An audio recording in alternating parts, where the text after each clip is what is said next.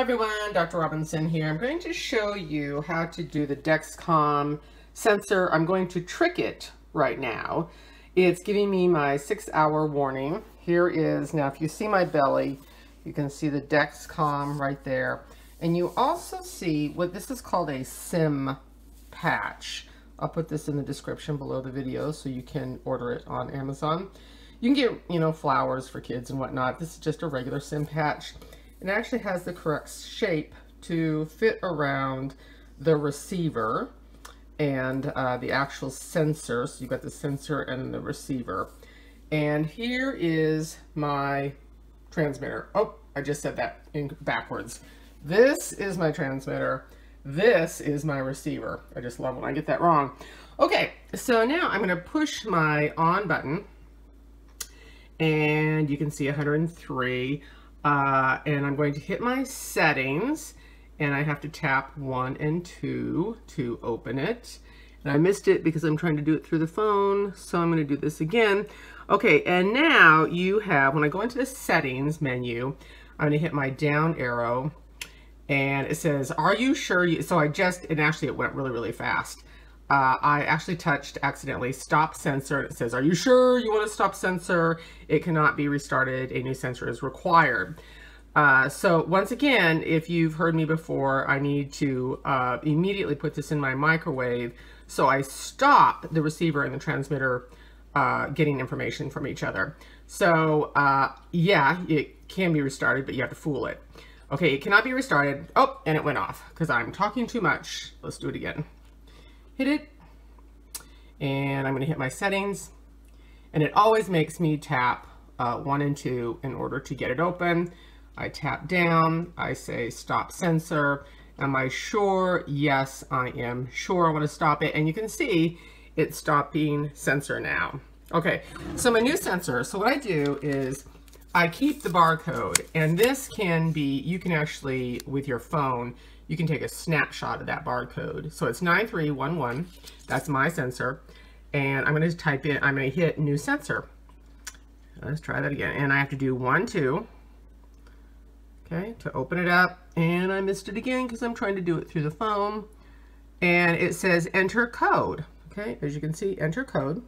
So I'm gonna enter my code and only enter sensor code from the sensor you insert. So it is a particular code per sensor and I need to tap my sensors uh, button. So I go up arrow and I go down arrow to get nine.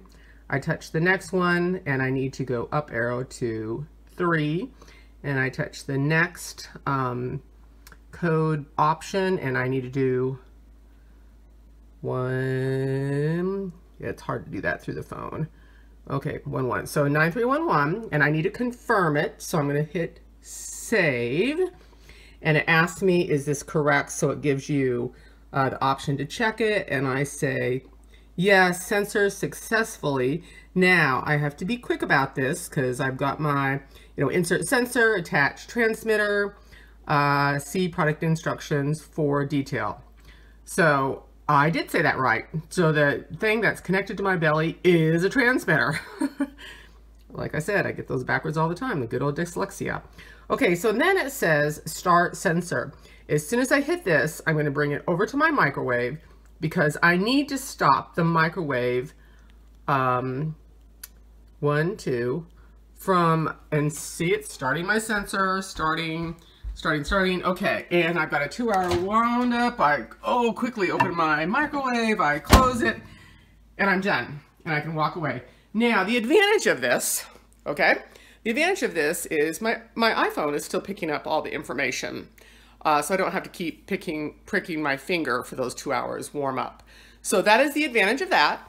Uh, and then in two hours, I'll come back. And what's great is as soon as I take it out, there's about a 30 minute warm up on that, but then it immediately connects to my iPhone and my iPhone will stop giving me information that my sensor is gonna stop or expire on me. And it automatically connects and I'm just off and running.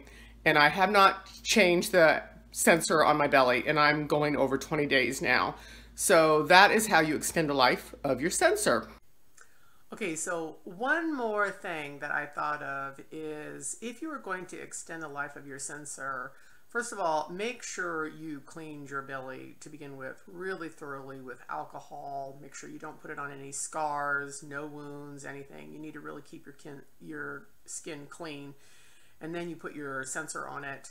And if you're going to extend the life of that sensor, make sure you don't have any itching there, any pain.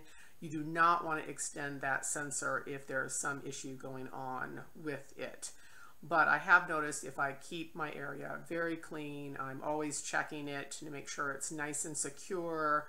So there are little caveats in there. Everybody's different. Um, if you have skin that breaks down easily to begin with, you may not want to do this. So you just need to really analyze if you're a person that can actually extend the life of your sensor. Okay, that is the last tip uh, for this video.